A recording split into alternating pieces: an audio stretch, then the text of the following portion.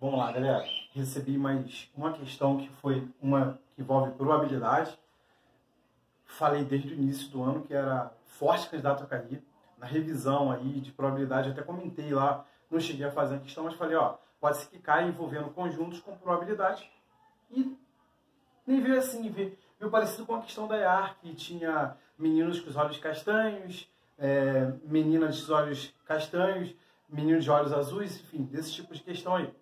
Bem parecido então, quem fez questões anteriores da EAR viu algo parecido, tá? Então, olha só. Nessa questão ele fala o seguinte.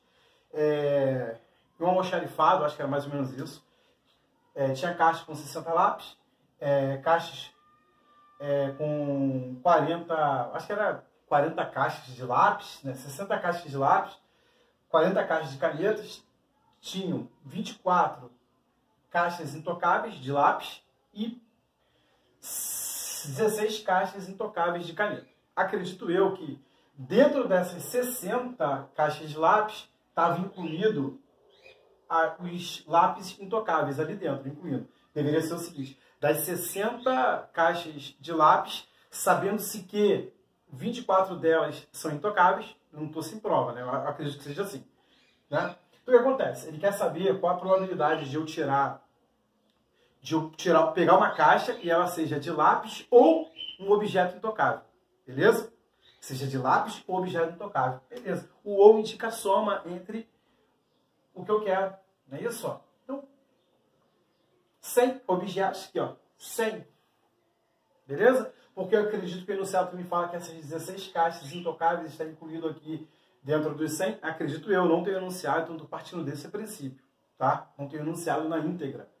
É enunciado que o aluno lembra, o que ele anotou mais ou menos aí na mente dele, tá? Que ele guardou na mente dele. Então, o que acontece?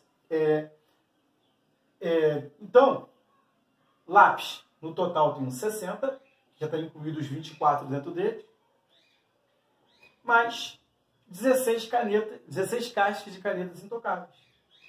Então, eu tenho 76 sobre 100, 76%, ou ele pode não ter deixado em forma de porcentagem, sim ter é, simplificado, né?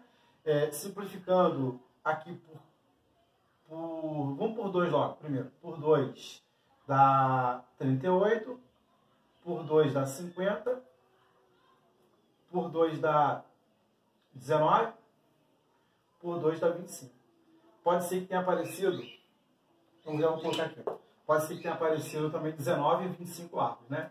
Então pode estar assim, ou 19, 25 árvores. Assim ou assim. Beleza? Então, mais ou menos isso aí. Espero ver a prova para poder, assim que eu tiver a prova, eu vou fazer o gabarito novamente, né? Bem detalhado, uma por uma, e eu vou ter o enunciado completo. Beleza? Vamos lá.